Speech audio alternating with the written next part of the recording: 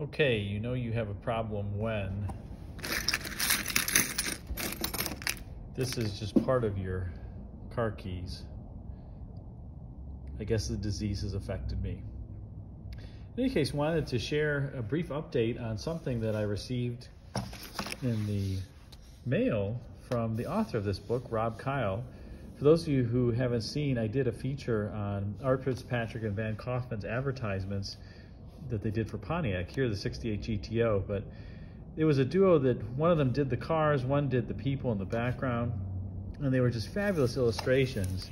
And this is a 200 page book that Rob was gracious enough to send to me.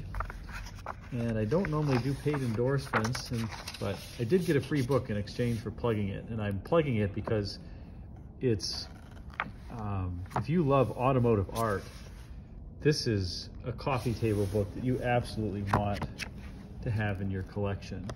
It has all the pictures from Buick and even Opel in here. I mean, Pontiac. Beautiful, beautifully done book. Talks about the history of Art Fitzpatrick and Van Kaufman. If you're an automotive historian, you want to order this book, I'll put a link in the uh, in the comments section for you to take a look. And again, Rob was thankful, I'm very thankful to him for autographing this, but super pleased with it.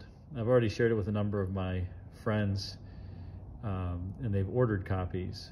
So take a look at it.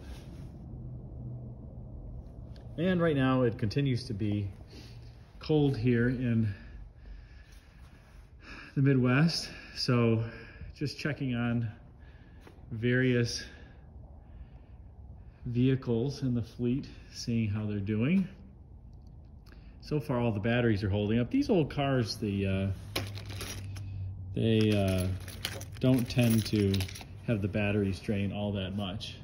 But you do want to make sure that you don't have any current drains on them. And if you don't, then you shouldn't have really any issues. Thanks for watching. Please like and subscribe or email me at rareclassiccars at yahoo.com. And be sure to check out Rob Keil's book at www.fitzandvan.com, F I T Z A N D V A N.com. You can order a copy from there directly. Thanks for watching.